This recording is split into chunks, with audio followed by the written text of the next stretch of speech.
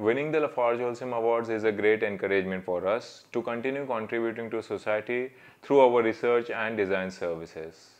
It also gave us an opportunity to have our projects and ideas validated and critiqued by design experts, which is a great vote of confidence.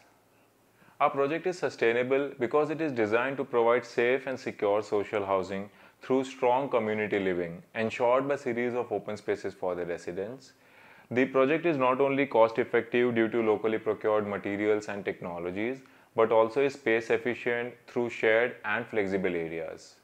A sustainable model developed through this design could easily be replicated to other rapidly growing cities.